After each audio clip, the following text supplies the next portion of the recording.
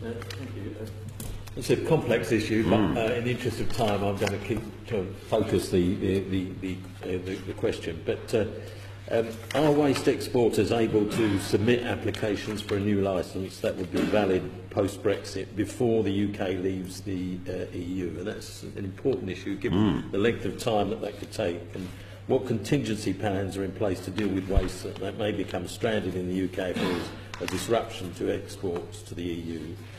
And how have you now agreed with the EU how reapprovals of shipments will take place? So there's a sort of no, all, all of the, all of that is still subject to negotiation at the moment. And one of the things I would say is that, um, b- b- given what had already happened with China and what is now happening with Malaysia, we recognise that there is more waste that does need to be uh, processed in the UK and in the EU. But we have been talking both to waste companies and to the Commission about how we can ensure that um, uh, au- au- authorisations and access remain.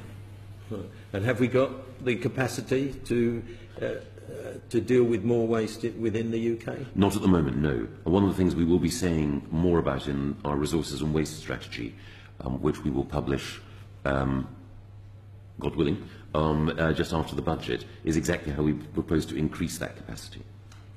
Okay, so the other issues about renegotiating approvals and that, they're still the subject of, ne- of negotiation. They are.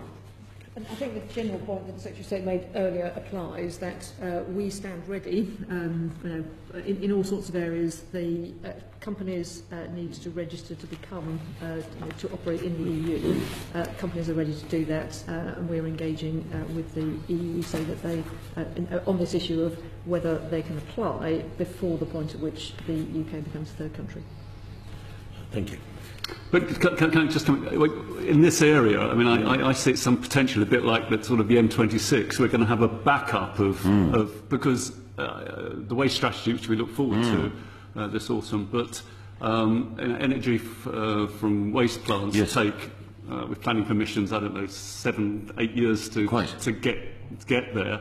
So are we, are we going to ha- have we got a contingency plan for the backing up of sort of millions of black plastic bags or whatever? I mean, it's, it's, a, it's a serious issue, isn't it? It is a very serious issue, but it, but it, but it, but it works both ways, as it were, in that it's, the, it's in the EU's interest as well Sure. to make sure that um, uh, we have. It's in the, in, it's in the EU's interest to do a deal, as we all want to do a deal. Indeed, no, no, we're no, talking about um, if we don't. No, no, no. Um, but, but yes, no, the, the, the, we are drawing up contingency plans in each individual area. If individual UK commercial concerns, um, for whatever reason, can't maintain the access to the EU market that they've had um, in the past, um, and, and we can say more about that um, once the resources and waste strategy has been published.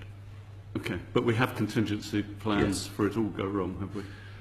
Uh, yes, but that doesn't mean that if uh, uh, that we can mitigate every risk, but we can seek to mitigate as many as possible. Thank you.